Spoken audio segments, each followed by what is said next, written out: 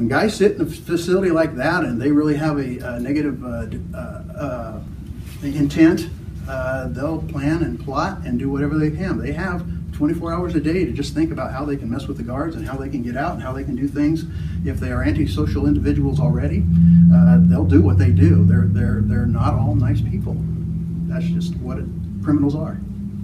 So right now, the- as of now, there's no date to decide the timeline I tried when to this set is going to happen. Yeah, mine would have been in 30 days, this would have been done, but uh, unfortunately, I couldn't get a second on my motion.